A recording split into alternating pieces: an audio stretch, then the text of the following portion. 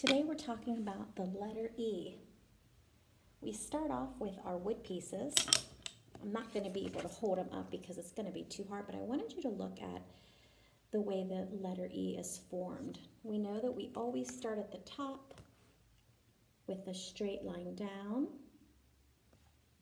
just like that. You can use your pointer finger if you'd like. You can make the letter E in the sky. And then we go back to the top with a little line. And then we go in the middle. I'll show you another wood piece. And then we end with the line at the bottom. It looks very similar to the F like that we worked on last week, but there's just one more line, short line there. So uppercase E. Let's look at our chart.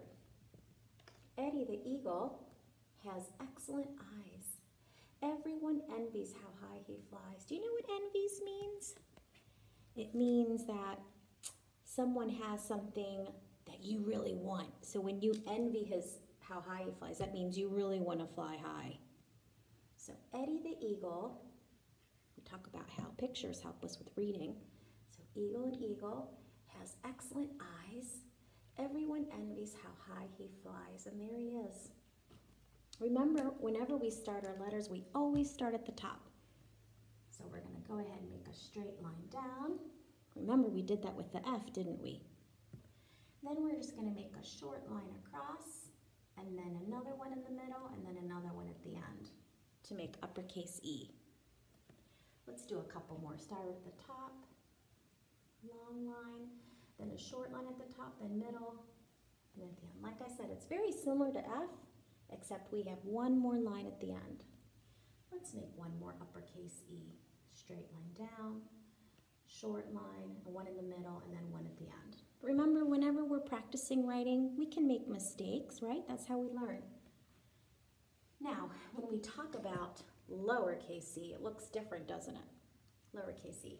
So we're going to start here in the middle. We're going to make a line, curve, finish like that. So you're going to make a short line, curve, and then stop right there. That's going to take some practice, so you can work and do your best always, right? So we're just going to do a straight line, go up like a hook, and then curve. Lowercase e. Spend some time with mom and dad looking at the chart to find out what are some items that have the E sound. Now, E is our first vowel. So, and you're going to learn this as you get older. It has two sounds. It has eh like an elephant and e like an eagle. And like I said, you'll learn more about that as you get older. Short e and long e. But again, we're not going to get too much into that, but we know that eagle says e and eh, eh. Elephant says the eh sound. So you can look at the picture and find out what has those sounds.